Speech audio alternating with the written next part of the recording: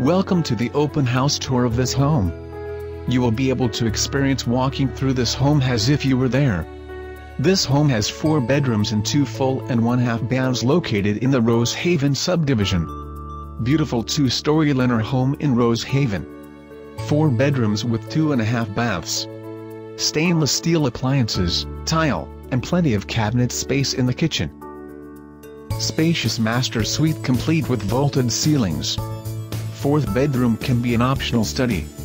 Very close to schools, shopping and I-10. For more information about this home, contact the listing agent.